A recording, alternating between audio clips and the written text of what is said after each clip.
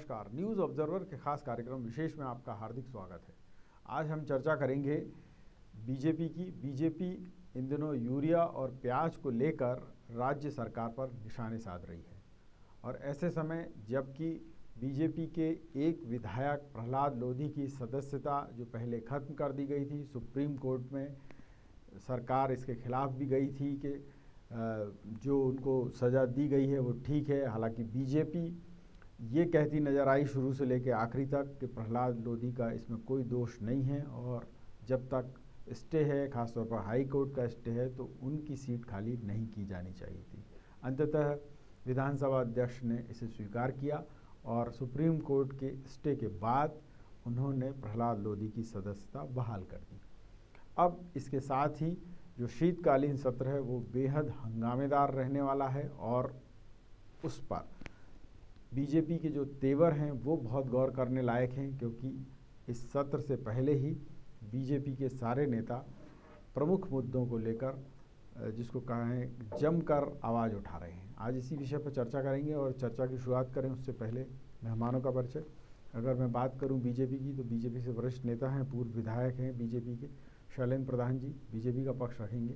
और बात करूँ कांग्रेस की तो कांग्रेस से वरिष्ठ नेता हैं पूर्व महापौर रहे हैं, भोपाल के दीपचंद यादव जी, वो कांग्रेस का पक्ष रखने के लिए मौजूद हैं और वरिष्ठ पत्रकार के रूप में अविनाश जी रहेंगे, वो यहाँ अपनी समीक्षात्मक टिप्पणियाँ देंगे। और सबसे पहला सवाल यहाँ पर आपसे बनता है, प्रधान जी की बीजेपी के मुख्य सचेतक जो हैं, डॉक्टर नरोत्तम मिश्रा, वो आज ये बयान देते नज़र आए कि यूरिया को लेकर प्रदेश की जो कमलनाथ सरकार है, उसको श्वेत पत्र देना चाहिए कि वाकई संकट है या ये कृत्रिम संकट बनाया गया है? देखिए भारतीय जनता पार्टी में यूरिया की डिमांड हम जुलाई अगस्त तक भेज देते थे। कांग्रेस की सरकार ने यूरिया की डिमांड सितंबर में रेज करी। दूसरा भारतीय जनता पार्टी में पूरी यूरिया हम सोसाइटीज़ के नाम से सोसाइटीज़ के माध्यम से ही बंटवाते थे। कांग्रेस की सरकार ने सोसाइटीज़ की जाँच बिठवा दी और पहले इन्होंने यूरिया प्राइवेट पार्टीज़ के थ्रू बंटवाया।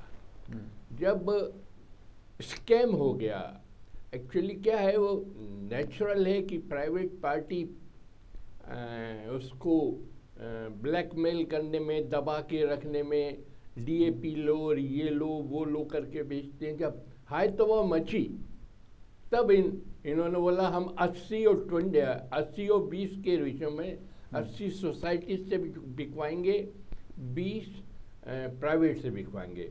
पर जब हाय तो वह मच गई, तब चिल्लाने लगे कि पंद्रह टन मांग पंद्रह लाख टन यूरिया मांगा। हाँ, साढ़े पंद्रह लाख टन दिया। हम्म। भाई यूरिया जब फ़सल बो जाती है उसके सात दिन बाद जब पानी देते हैं तब डाला जाता है। या बरसात हो जाती है मावट आ जाती तब डाला जाता है। और एक बार नहीं डाला जाता दो तीन बार डाला जाता है। बिल्कुल। तो यूरिया की डिमांड डे वन पे नहीं आती स्टेजेस में आती है। हम्म। ये इन्होंने गलती की इसी को लेकर आप श्वेत पत्र की मांग कर रहे हैं। क्वेश्चन है कि आपने खुद ही गड्ढा खोदा अब जब खुद ही उतर गए तो चिल्लाने लगे, हाय हाय हाय हाय हाय हाय। बताइए साहब, खुद ही गड्ढा खोद रहे हैं, खुद ही कूद रहे हैं और सबसे बड़ी बात कि श्वेत पत्र की मांग की है मुख्य सचेतक डॉक्टर नरोत्तम मिश्रा ने। उनका कहना ये है कि बाज़ार में ब्लैक में यूरिया उपलब्ध है, यानी तीन सौ रुपये ज़्यादा दो, जितना यूरिया चाहिए ले जाओ। और सोसाइटीज़ पर ये उपलब्ध नहीं है। तो वाकई अगर संकट है तो सरकार श्वेत पत्र ले आए क्या कहेंगे आप? मुझसे पूछ रहे हैं? जी हाँ।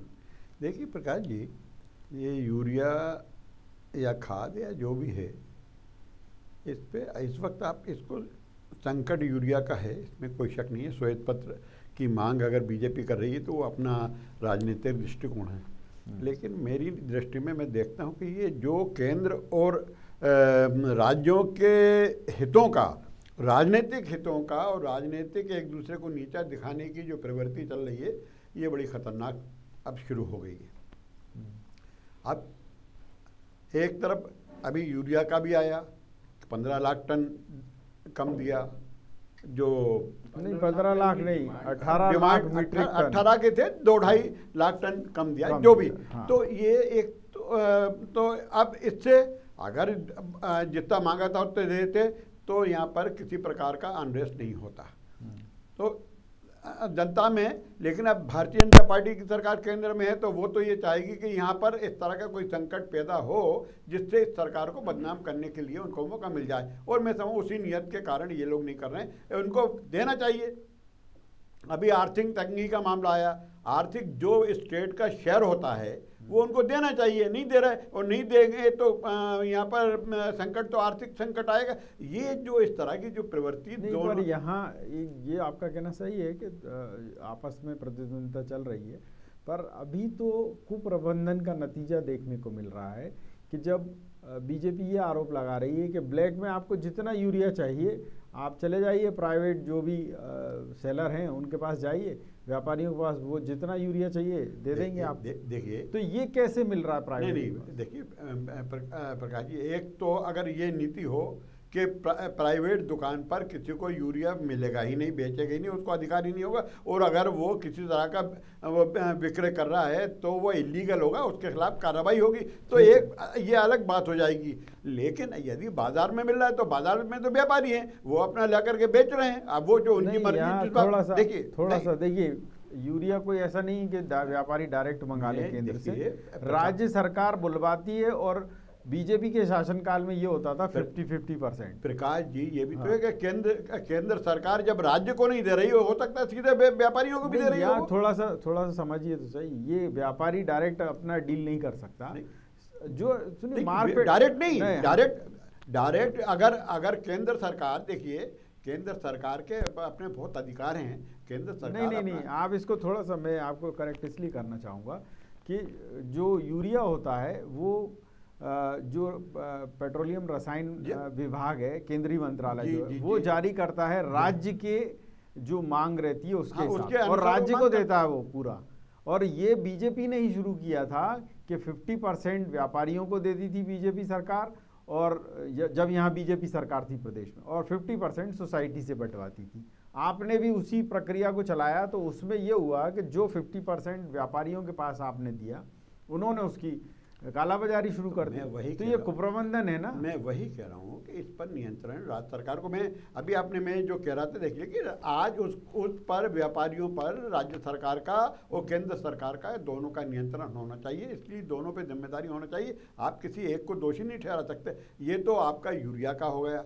बाकी सब और भी चीज़ें हैं। आप देखिए नहीं अभी हम इसलिए ये बात कर रहे हैं कि आप देखिए आज जिस तरीके से आपने देखा शमशाबाद में एक ट्रक लूट लिया किसानों ने। ये देख रहे हैं आप?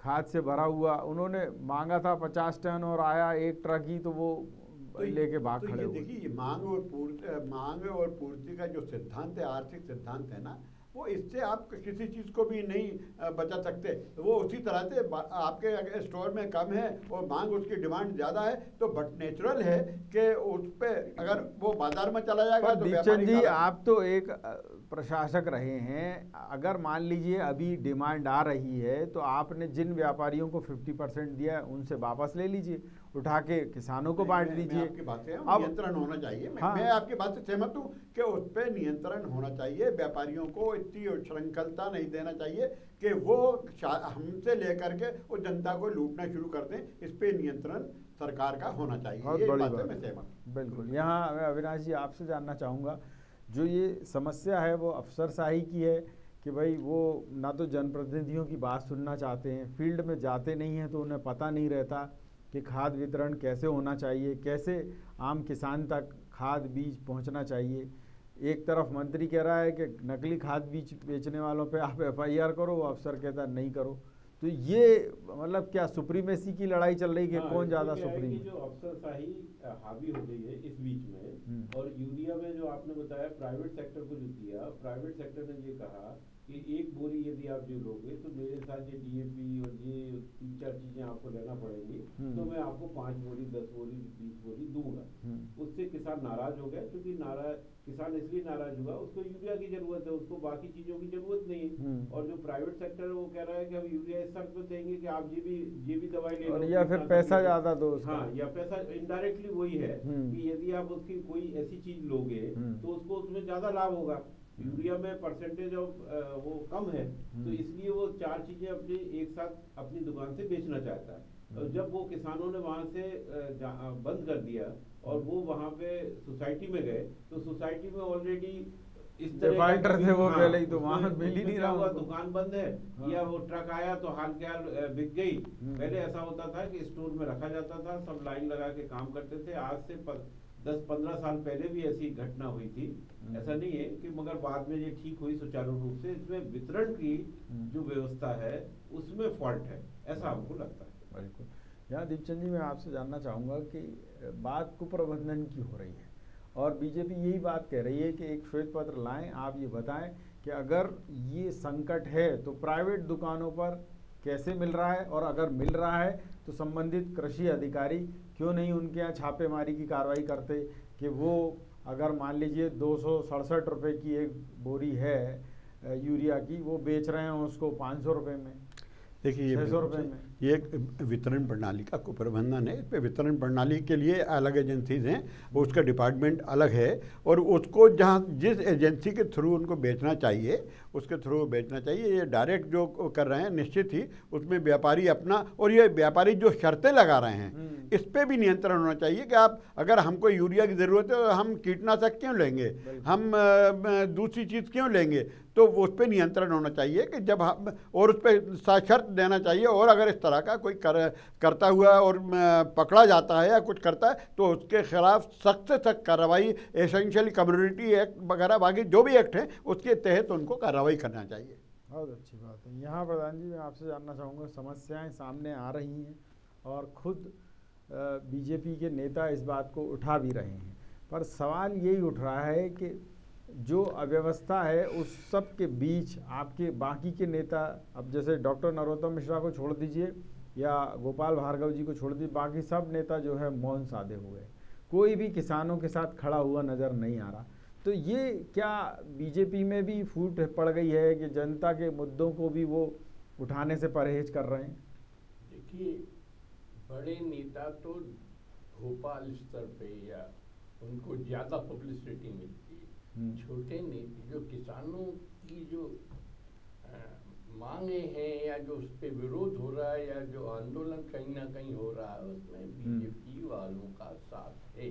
हमारे मंडल जिला स्तर के कार्यकर्ता भी लगे। नहीं हो रहा है, और आप देख रहे होंगे, ये जो हम तस्वीरें दिखा रहे हैं, वो हम आपको विदिशा की दिखा रहे हैं, हम आपको अब्दुल्लागंज की दिखा रहे हैं अशोक नगर की दिखा रहे हैं, गुना की दिखा रहे हैं। जहाँ जहाँ किसान चक्का जाम कर रहे हैं, आज भी जिसको कहें दो जगह चक्का जाम किया है किसानों ने। तो बात यही उठ रही है कि जब व्यक्ति किसान परेशान है इस समय यूरिया पाने के लिए तो आपके ग्रामीण इकाई जो है शहर की इकाई जो है वो इनके साथ नहीं खड़ी है?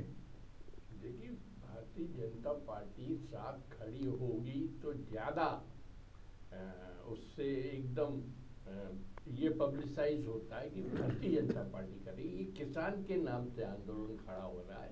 हम्म। पर शक्तियाँ भारतीय जनता पार्टी के उनके साथ जुड़ी हैं चलिए। दीपचंद जी जिस तरीके से मध्य प्रदेश विधानसभा में अब जिसको कहें शीतकालीन सत्र की शुरुआत होनी है और बहुत मुश्किल एक सप्ताह ही बचा हुआ है, यहाँ बीजेपी उन मुद्दों को और गर्म करती हुई नज़र आ रही है जिनकी वजह से आम जनता या किसान नाराज़ है। पर अफसोस इस बात का है कि सरकार जो है वो और पलीता लगाने पे लगी हुई है। कोई भी आपका जिसको कहें मंत्री फ़ील्ड में नहीं जा रहा है कोई भी आपका बड़ा नेता फ़ील्ड में नहीं जा रहा किसानों की समस्या सुनने के लिए कि भाई आपको यूरिया का संकट हो रहा है तो क्यों?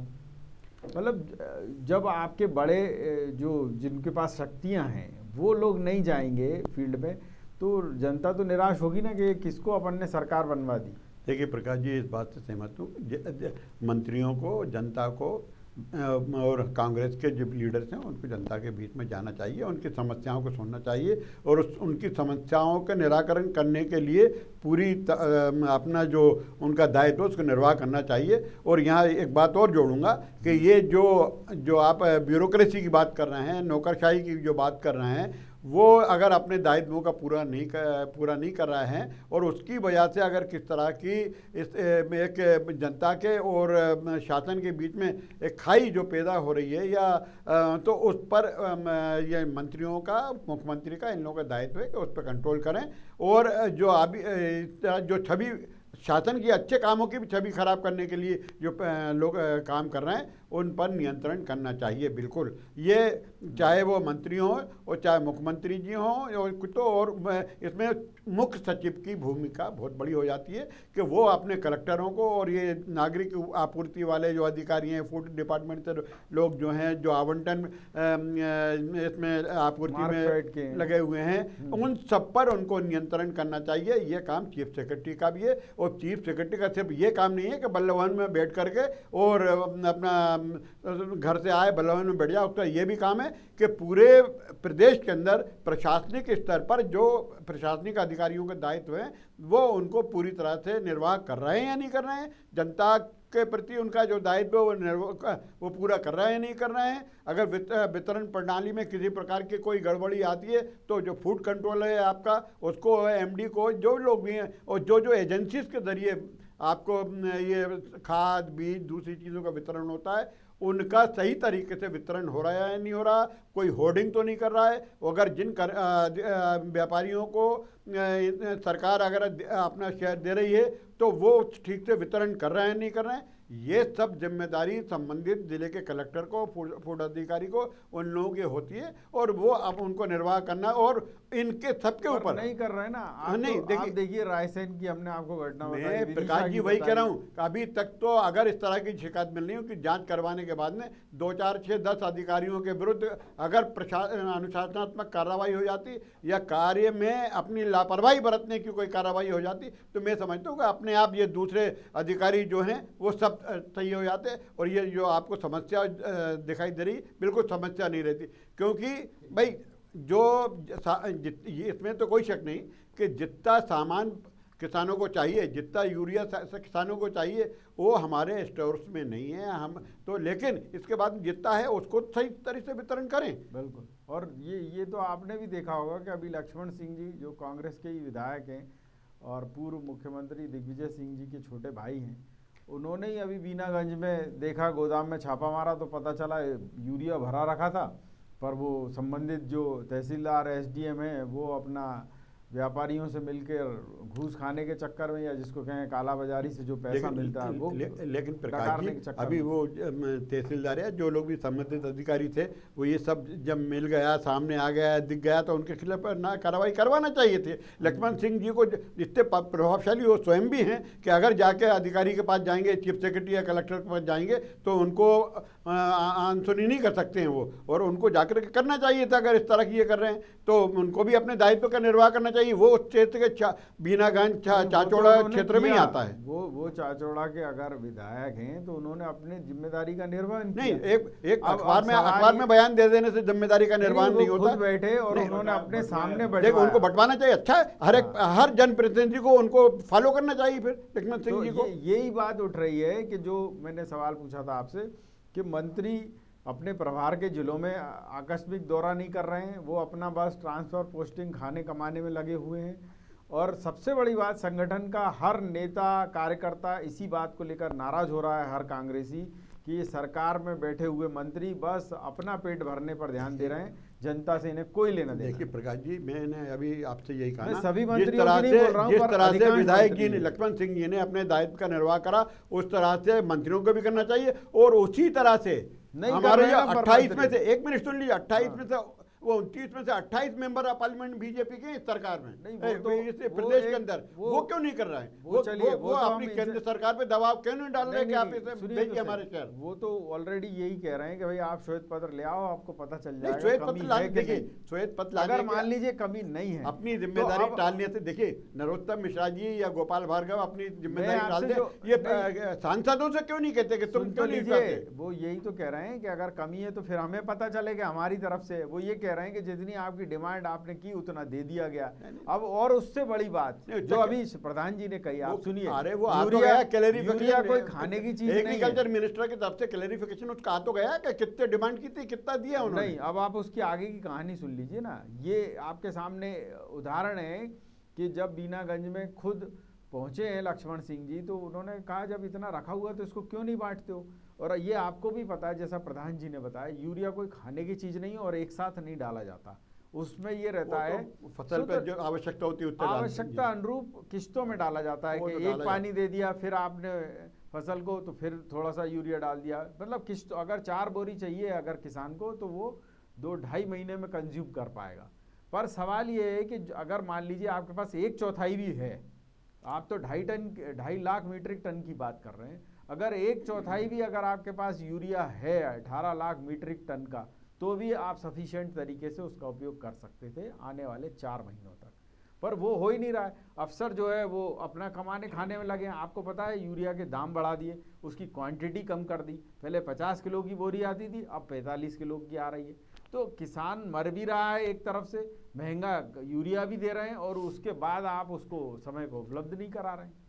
अब बोरी पैंतालीस किलो या पचास किलो या एक क्विंटल की वो तो वो तो अगर उसका मूल्य बोरी के हिसाब से है तो अ, अलग बात होगी। अगर वो उसका मूल्य बोरी का किलो के हिसाब से होता है या क्विंटल के हिसाब से होता है तो उसमें ये आपको कित- होगा कि पहले 50 किलो की बोरी आती थी। अब वो उन्होंने उसमें लगभग लगभग साढ़े चार किलो आप या चार किलो 900 ग्राम उनने कम कर दिया है। अब उतने ही पैसे में दे रहे हैं ये क्या कह रहे हैं कि हम तो वही है कीमत तो लीजिए। है तो ये गलत कीमत भी बढ़ा दी और कैसे किसान को बेवकूफ़ बनाया कि पहले 50 किलो मिलता था दो सौ सड़सठ में आज से तीन साल पहले दो साल पहले अब वो मिल रहा है दो सौ सड़सठ में पैंतालीस किलो अच्छा यानी हर- कीमत केंद्र ने बढ़ाई है कि स्टेट ने बढ़ाई? राज्य ने अब आप सुन लीजिए अब राज्य ने अगर कीमतें बढ़ाई हैं तो ऐसी ब्लैक लिस्टेड कंपनियों को अधिकारियों ने एंगेज कर लिया जिनकी ज़रूरत नहीं थी फिर भी आपने कर लिया अच्छी बात है। अब तो neem coated area neem coated urea आ रहा है आ रहा है। तो उसका आप दूसरे फैक्ट्री वाले भी उपयोग नहीं कर पाते। फिर ये अव्यवस्था होने के पीछे आपको नहीं लगता एक रैकेट काम कर रहा है आपकी सरकार में जिसे आप ही नहीं पकड़ पा रहे हैं? देखिए सरकार में भी हो सकता है अधिकारियों का हो सकता है रैकेट तो न, सब तरह के आजकल रैकेटों का तो ऐसा ज़माना आ गया है कि आप अगर रेटों को रैकेटों की बात कर देंगे तो ये बात बहुत दूर तक जाएगी ये रैकेटों की लेकिन लेकिन ये हाँ। जनता जनता इससे प्रभावित है हाँ। किसान इससे प्रभावित है अगर इससे इसमें लोगों के आर्थिक लाभ उठाने के लिए ये करा जा रहा है तो इस पर सरकार का काम है सरकार नियंत्रण करे मैं इस बात से सहमत हूँ। और अगर सरकार सरकार में मंत्री जी को चाहिए मुख्यमंत्री जी को चाहिए कि अपने प्रशासनिक जो अमला है उससे कहें कि वो उस पर कार्रवाई करे और जनता को किसी प्रकार के किसानों को इस तरह से वितरण में अगर आपके पास गोडाउन में है तो उसको गोडाउन में बजाय कालाबाजी करने के जनता में वितरण होना चाहिए उस पर नियंत्रण होना चाहिए। प्रधान जी ये देखा आपने दीपचंद जी बड़ी बेबाकी के साथ अपनी सरकार को भी यहाँ कटघरे में खड़ा कर रहे हैं। इस बिना पे कि भाई देखिए कांग्रेस ने वचन पत्र में ये कहा था कि खाद बीज इसको लेकर वो किसी तरीके की समस्या नहीं होने देंगे। कमी नहीं आज वो देंगे। उसी उसी वचन पत्र को वो दोहराते नज़र आ रहे हैं। मेरा सवाल आपसे ये है कि क्या बीजेपी पर ये जो आरोप लग रहा है कि संकट है नहीं आप भी कुछ ना कुछ प्रोवोक कर रहे हैं कुछ लोगों को किसानों को संगठनों को ताकि जिसको एक बोरी चाहिए वो चार बोरी मांग रहा है। नहीं ये देखिए ये सामान्य मनुष्य की मानसिकता है हाँ। कि जब उससे पता लगता है कि शॉर्टेज है तो होल्डिंग करने लगता है। तो हर किसान जिसको अभी एक बोरी या दो बोरी चाहिए वो चार चार छः छः बोरी ले रहा है कि मालूम नहीं शैलन जी भी बहुत बड़े किसान हैं भाई प्रकाश जी। हाँ नहीं वो होल्ड नहीं कर रहे हैं चलिए हाँ जी तो वो भी यही कोशिश करता वरना मैंने जैसा बतलाया कि तीन बार यूरिया डलता एक बार नहीं डलता। और जब ज़मीन नम हो जाती तब उस पर डाला जाता है जिससे पानी में वो घुल जाए। और पौधे पे हाँ। पहुँच जाए। हम्म, अभी ऐसा नहीं कि जैसे कोई डीएपी है जो फ़सल के साथ बोया जाता है ऐसा नहीं है। तो इसलिए मुझे लगता है ये मिसमैनेजमेंट है और आउट ऑफ़ प्रोपोर्शन ब्लो हो गया है। बिल्कुल। यहाँ अविनाश जी मैं आपसे जानना चाहूँगा कि ये सरकार जब से आई है साल भर हो गया है और एक हाथ को पता नहीं दूसरा हाथ क्या कर रहा है? यानी अफसर क्या कर रहे हैं वो मंत्री को पता नहीं मंत्री क्या कर रहा है? वो अफसर को पता तो है पर वो जानबूझ के आँखें मूंदे हुए हैं। ये जो अव्यवस्था है क्या आपको लगता है जनहित के लिए ठीक है और क्या इसमें हाई कमान हो, मुख्यमंत्री स्वयं हो, उनको हस्तक्षेप नहीं करना चाहिए कि ये मतलब कैसा संकट हो रहा है जो है ही नहीं, कृत्रिम संकट है। मगर इसमें क्या है कि कृषि मंत्री ने अभी बीच में कहा था कि हम और हार्डनेस करें, शुद्ध दें तो आपको याद होगा, भोपाल में एक इन्हीं के अफसर पकड़े गए थे पैसे लेते हुए कृषि विभाग के हाँ, शुद्ध उन्होंने शुद्ध बनाने के लिए हम्म। अपने को शुद्ध किया हम्म। तो क्या है कि हम्म। इसीलिए मेरे को ऐसा लगता है कि अब जो इसमें अफसरों की प्रणाली है उसमें सरकार के प्रति एक गैप है हाई टाइप की जो वहाँ तक लोग नहीं पहुँच पा रहे क्योंकि अभी एक साल हुआ है तो उनकी जो पकड़ है मतलब चाहे कृषि मंत्री की हो और जिसके जो आप इन्होंने बहुत अच्छी बात की कि कलेक्टर इम्पावर होता है हम्म। और यदि कलेक्टर अपनी दम पे दम ले ले तो किसी की हिम्मत नहीं है कि वो यूरिया बहुत बड़ी बात आपने कही है यहाँ यहाँ दीपचंद जी मैं आपसे जानना चाहूँ किसान इस समय छोटी छोटी बातों को लेकर परेशान है। आपने कहा दो लाख का कर्जा माफ़ करेंगे। कई किसान मेरे पास ऐसे आ रहे हैं जिनका एक रुपया माफ़ नहीं हुआ। मेरे पास आज की ही एक खबर है सतना से कि एक किसान का सत्तर हज़ार रुपये का बिजली का बिल आया। वो जब माफ़ कराने के लिए या जिसको कहें उसमें सुधार कराने के लिए बिजली ऑफ़िस पहुँचा तो कर्मचारियों ने उसको कहा कि जमा कर दे, नहीं तो तेरे खिलाफ पुलिस पुलिसिया कार्रवाई हो जाएगी और तू अंदर हो जाएगा, जेल चला जाएगा। उसको वहीं अटैक आ गया और सतना एमपीवी ऑफ़िस में आज उसकी मौत हो गई। किसान की मौत होना ये सरकार के लिए शर्मनाक नहीं है क्या? देखिए ये बहुत दुर्भाग्यपूर्ण है और किसान की अब वो तो जाँच के बाद पता चलेगा कि उसको हार्ट अटैक क्यों आया। ये जो आप बता रहे हैं उस वजह से आया या पहले से वो बीमार था। वो तो इसके मामले में लेकिन इस तरह का अगर ये आता है अगर व्यवहार इनको जितने भी चाहे वो बिजली विभाग के हों चाहे कृषि विभाग के हों किसी भी तरह के हों उनके- दो घटना उन- उनके- बता देता हूँ। देखिए, मैं बता- में एक व्यक्ति से मीटर का लोड बढ़वाने के नाम पे पच्चीस हज़ार रिश्वत ले रहा था ई अजय व्यास और कोई शाह करके। मैं- उसको लोकायुक्त पुलिस ने आज पकड़ा। मैं और एक घटना हो रही है सतना में जहाँ किसान इसीलिए आत्म जिसको कहे हार्ट अटैक से मर गया कि अचानक उसको लगा कि ये माफ़ होगा नहीं पैसा है नहीं उसके पास तो वो निकल लिया ऊपर। देखिए प्रकाश जी इस तरह की घटनाएँ पहले भी होती रही हैं और अभी भी मैं समझता हूँ ये हो रही हैं, लेकिन ये बड़ी दुर्भाग्यपूर्ण है। ले और लेकिन जिन कारणों से ये घटनाएँ हो रही हैं, उन कारणों से उनका को देख करके और उस तरह की पुनरावृत्ति ना हो, इस तरफ़ ये काम शासन का है, प्रशासन का है कि इस तरह की पुनरावृत्तियों को रोके।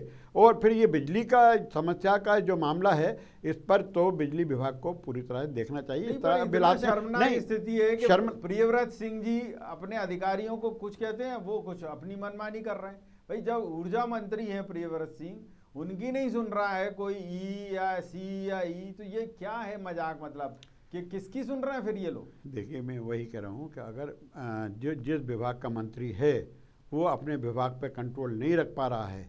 तो मुख्यमंत्री जी के पास सीधा सीधा उसको जाना चाहिए कि मुख्यमंत्री जी, आप चीफ सेक्रेटरी को बुलाइए, मेरे सामने बुलाइए और उनको लाइए और करके ये कहिए कि आप जब मंत्री की नहीं सुनेंगे तो किसकी सुनेंगे? या तो देखिए, मैं अगर मंत्री होता, मेरी नहीं सुन रहा है और मेरा मुख्यमंत्री जी के बाद जाने के बंद नहीं करता, अधिकारी मेरे नहीं सुन रहे होते तो मैं तो कहता, साहब, मुझे अपने छुट्टी दे दीजिए मैं अपने मंत्री पद से त्याग पत्र देता हूँ मैं अपने घर बैठने दीजिए। इतना इतना आप में साहस होना चाहिए। शैलेंद्र जी बहुत बड़ी बात कही है यहाँ दीपचंद जी ने कि अगर मंत्री की नहीं सुन रहे हैं तो फिर मंत्री को इस्तीफा दे देना चाहिए। क्या इन्हीं सब विषयों को लेकर शीतकालीन सत्र में आप इन घटनाओं को एकजाई करके रखने वाले हैं सरकार के सामने? देखिए विपक्ष का काम ही है कि सरकार की कमियों को गिना है उजागर करे। विधानसभा में हर ज़िले से सूचनाएँ आएँगी विधायक अपने प्रश्न लगाएँगे उसके बाद बहुत सारे ऐसी घटनाएँ जो हैं वो सामने आएँगी। और हम निश्चित ही ये महसूस करते हैं कि माननीय कमलनाथ जी अपने मंत्रियों पे नियंत्रण नहीं रख पा रहे या मंत्री अक्षम है ऐसा मुझे कहने में अफसोस है। बहुत बढ़िया आपने बात कही और मेरे पास चर्चा का इतना ही समय था। आप सभी मेहमानों का बहुत बहुत धन्यवाद और आभार। मैं बात करूँ अगर किसानों की, आम जनता की तो वो इसी बात को लेकर परेशान है कि सरकार घोषणाएँ खूब कर रही है योजनाएँ अच्छी बना रही है, पर उनका लाभ उन तक या जनता तक, किसानों तक नहीं पहुँच रहा है। यही वजह है कहीं किसान आत्महत्या कर रहे हैं, कहीं किसान हार्ट अटैक से दम तोड़ रहे हैं और मंत्री घोषणाएँ कर रहे हैं। न्यूज़ ऑब्जर्वर के खास कार्यक्रम विशेष में इतना ही। लेकिन यहाँ विवाह खबरें अंदर जारी रहेंगी। आप देखते रहिए न्यूज़ ऑब्जर्वर। न्यूज़ ऑब्जर्वर यानी सिर्फ़ खबर।